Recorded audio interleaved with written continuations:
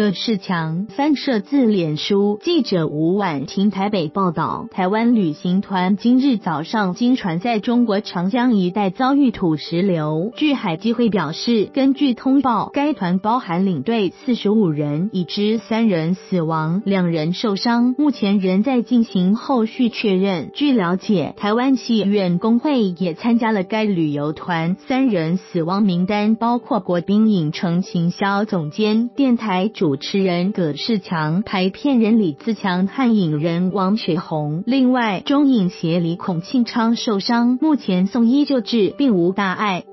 葛世强是资深电影工作者，早期担任美商二十世纪福斯电影公司公关，是不少好莱坞大片宣传的重要推手。后来进入维丰国宾影城，一方面担任总经理特助，一方面负责排片，是国宾影城第二把交椅。他也因声音浑厚有磁性，极具魅力，同时也是资深广播电台主持人。